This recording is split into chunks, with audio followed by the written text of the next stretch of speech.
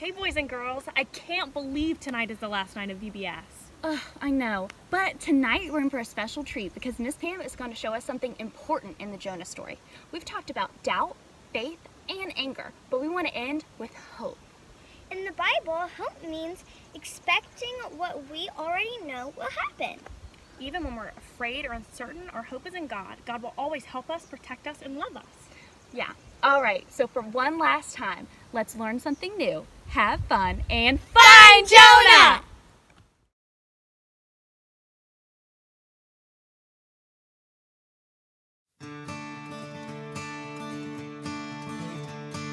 In my wrestling, in my doubts, in my failures, you won't walk out. Your great love will. You are the peace in my troubled sea. Oh, you are the peace in my troubled sea. My lighthouse, my lighthouse, shining in the darkness, I will follow you. My lighthouse, my lighthouse, I will trust the promise. You will carry me safe to shore.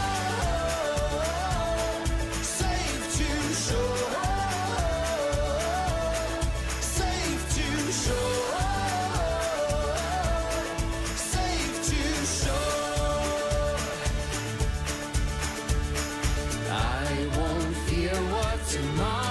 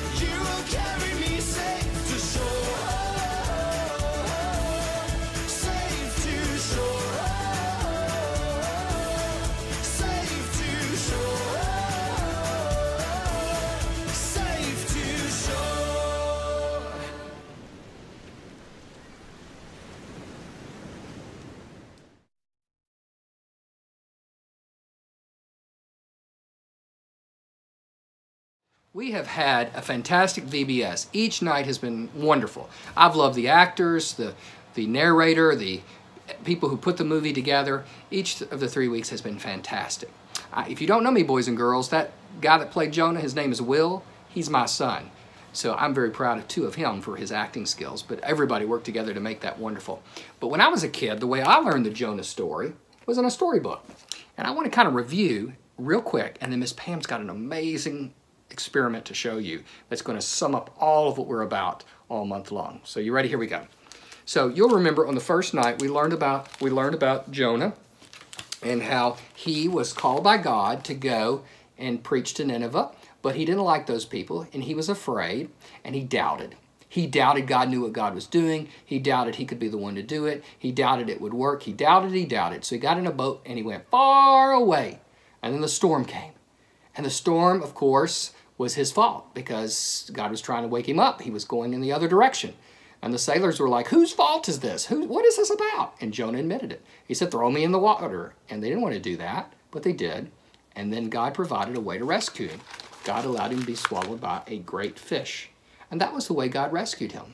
On the second session, we learned how in that fish he prayed. Didn't you love that? He prayed. God woke him up. I don't know what it was like to be in a smelly, smelly fish, but oh my goodness, in that fish, that gross place, he knew that God had rescued him and was trying to tell him, You've got to have faith. You need to follow me. You need to believe. And so Jonah went. And we learned on the third night that when he went, after he got thrown up, isn't that gross? He got thrown up by the fish. We learned that he went and he preached, and he was quite successful, and the people listened.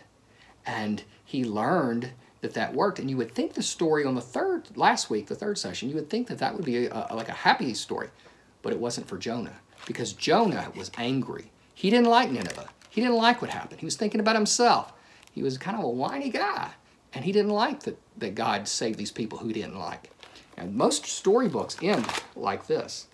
But you learned last week that that's not how the story ends. I hope that you and your family will read Jonah chapter 1, Jonah chapter 2, Jonah chapter 3, and Jonah chapter 4 together. I hope you will this week. Because if you do, you'll learn so much. You'll learn that he then left the city and continued to whine and fuss, and he wound up under a plant. And then when God allowed a plant to grow to protect him, and then when the plant died, he was just more worried about his own comfort than he was about serving God. Now that sounds kind of like a bummer of a story, but the story shows us that this guy named Jonah uh, had some of the same experiences we go through. He went through uh, doubt, he went through faith, and he had some anger. But the story of Jonah is trying to say we shouldn't do that. We should, we should, we should hang on to the faith. We should believe in God and celebrate. And so we didn't want to end this journey with Jonah whining and complaining. Of course not. And so I want to read to you out of the Bible, this book, where the story of Jonah is mentioned again. And it's mentioned in Matthew chapter 12, and I encourage you to go home and read it. Let me read to you starting with verse 38. Then some of the Pharisees and teachers of the law said to him, Teacher, we want to see a miraculous sign from you. He answered, A wicked and adulterous generation asks for a miraculous sign, but none will be given to it except the sign of the prophet Jonah. Even as Jonah was three days and three nights in the belly of a huge fish, so the Son of Man will be three days and three nights in the heart of the earth. The men of Nineveh will stand up at the judgment with this generation and condemn it, for they repented at the preaching of Jonah, and now one greater than Jonah is here. So Jesus mentions this story that we're talking about, and what he says here is that people are always asking for proof that God loves them. We complain and we fuss and whine, like Jonah, but there was once a day in which God gave them a sign through this prophet in this story and that Jonah, just like he was three days in the belly of the fish, and then was, you know, was was there, that Jesus will be in the lowest point. He will die and be in the grave for three days, but that Je Jesus will rise again, and he will bring hope and forgiveness to the world, and he will be a far better person, and he is a far better person, a far better person to follow than anyone else, including Jonah, right? And so what we see is that yes, Jonah had doubt. Yes, Jonah then had faith and prayed. And yes, God delivered him, but Jonah still was not perfect. And he was angry because he's a human being, and we as human beings aren't perfect. But the story ends tonight with Jesus pointing back to that story of Jonah, saying that the entire story is a reminder that just like Jonah preached to people who didn't want to hear it, and just like Jonah was three days as low as he could go, that Jesus, after the cross, would be as low as a human being can go as he was in the grave. But unlike Jonah, Jesus was Jesus. And when he rose from his grave, he wouldn't whine and have pity parties like Jonah did. He wouldn't be angry. He would come to bring deliverance and love. And Miss Pam's going to show you he would come to bring forgiveness. Forgiveness. The word hope is what comes to mind when I read this text. And hope, of course, is that is, is found because we know we're forgiven. You know, hope is an expectation that God's going to do great things. And Jesus is the source of our hope. And so we've had this vacation Bible school all month long to tell you a famous story, to get you to dig in deep and learn, to be willing to grow, but also to learn from it that, like Jonah, we need God. And sometimes it takes us a while to get it. But then Jesus wraps it all up tonight to remind us that this hope is possible because of forgiveness. Forgiveness that God has for us and that we can have for one another. It's a great Great truth, isn't it? Well, Miss Pam's going to talk to you. She's got another cool experiment. I've loved all of her experiments. And when she's done, we're going to sing again and we're going to celebrate as we leave. Thank you for Vacation Bible School. Let's hear what Miss Pam has to say.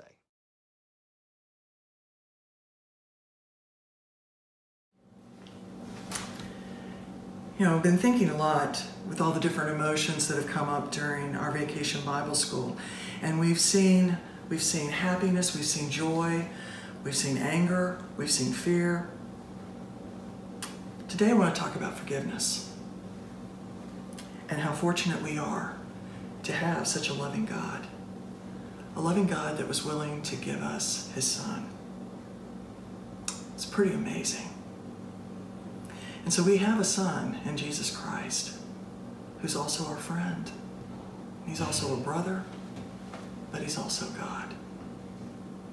And he loves us so much. He just wanted to show us the way to his Father. So we can think, like a shiny penny, we come into the world. But invariably, sin also comes in.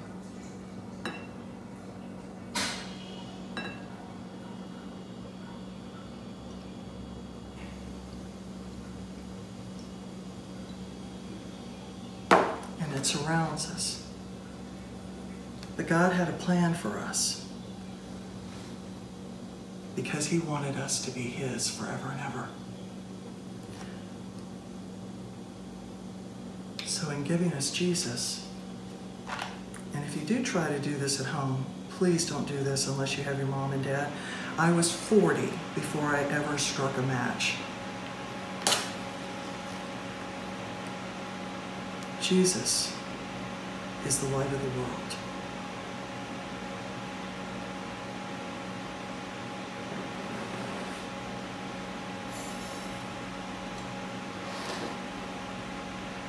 He lights our path, sometimes when we're in the darkness.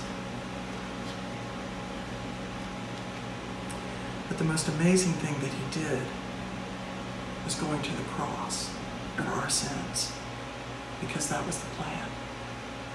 Even in the Garden of Gethsemane, Jesus prayed to God. He didn't want to go to the cross, but yet he was obedient to God, his Father, to the very end. And he knew the plan, so he prayed then that he would bring glory and honor to God. He prayed for his disciples because he knew they weren't ready to lose him yet. He still needed to spend more time with them. So he prayed for them. And he prayed for you and for me long before we ever came into being. He prayed for us because he knew it would be harder to believe without seeing. So he went to that cross and he died on the cross.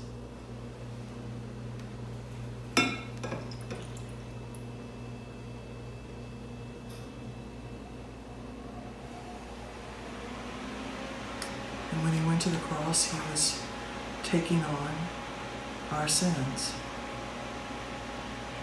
your sins and mine.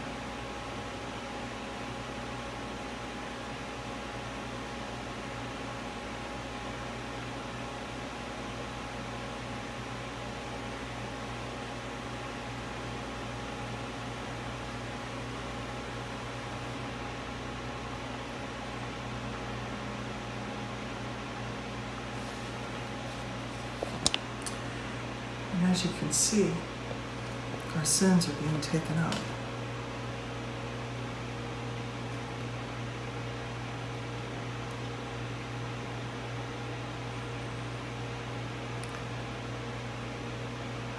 That was the cost.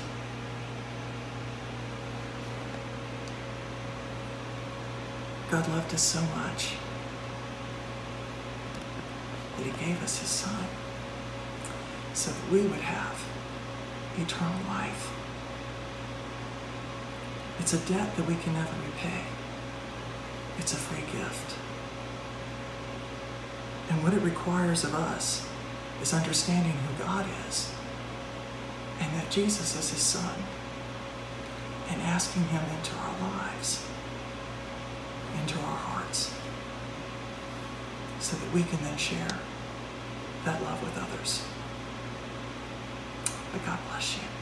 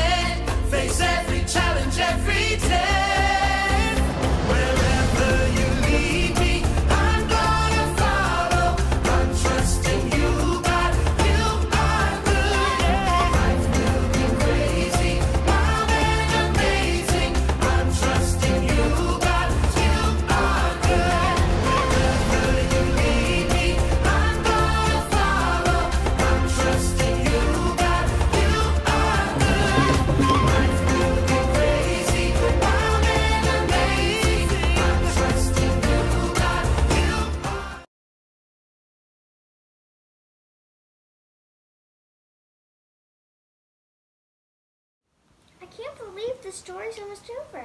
I know. We've had so much fun this month. We hope you have too. I love that the story ended with Jesus and hope. Yeah, Jonah's story gives us hope that God has special plans for us and our lives, even if we don't know what those are yet. Jesus' life is a story of hope too. On Easter, we remember that Jesus rose from the grave and still lives. Yeah, both of those stories help us remember that we are that whenever we are afraid or have doubt in our faith, we need to have hope in God and hope that everything will work out.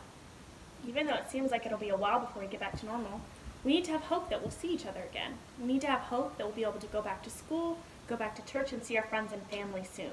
I hope you've had a whale of a time for VBS this year. Have a great week. And remember, God loves you. Thanks for helping us Find Jonah! I look forward to VBS every year.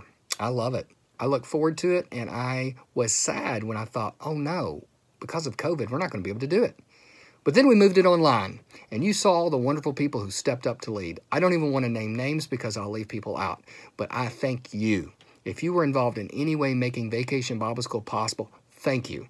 And for the kids and parents and adults and all those who are watching this, thank you for joining us for this month. Thank you for donating food to help people. Thank you for having energy. Thank you for having passion for God and for just worshiping and growing and learning together. And the great thing about technology is this VBS doesn't have to end. There's people in your lives who would benefit from this series. So tell them about it. We might be able to continue sharing this good news. You can relive it by rewatching the so- listening to the songs, maybe paying att- rereading the uh, the story of Jonah during the year, and and just revisiting it. Maybe doing some of the things that are mentioned in here. But share it with others. Let them know so that they can be encouraged by this message of Jonah that connects to us in so many ways, that deals with all the things that we struggle and deal with. Thank you for being a part of it. Let's close VBS 2020 in prayer. And next year for VBS 2021, I am hoping and praying we will see each other in the pews together. And uh, we may use some technology like we've never used it, but at least we'll be together too. We'll be able to do both. And I'm looking forward to that. Let's pray. Gracious God, I thank you for the boys and girls. May they be blessed by this journey. May their parents be blessed. Thank you for those who led and made this possible. We give thanks for Vacation Bible School, Finding Jonah 2020. Thank you, God. In Jesus' name, all God's people say, Amen.